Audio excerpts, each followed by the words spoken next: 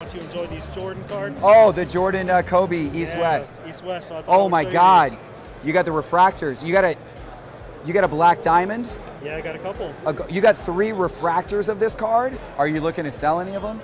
Uh, this one I'm gonna try to get back at the black label. Okay. The PSAs I would maybe be interested in moving. Can I? You mind if I look at them over here real quick? Absolutely. These are exceptionally conditioned, and this is why this card is so cool. You got Jordan and Kobe on the same card. All right, so I'm using I'm using market movers to look up recent sales prices of these cards, and this one most recently sold at auction for 10,900 a couple of months ago. Now the market's probably come down a little since then. One actually sold recently for 10,100. So what would you be willing to part with this one for? 9,500 is your bottom. Okay. I feel, I feel like it's a fair price. I feel like you're offering a fair deal. I really love this card. I want it. Let's do it. I appreciate it. Yeah.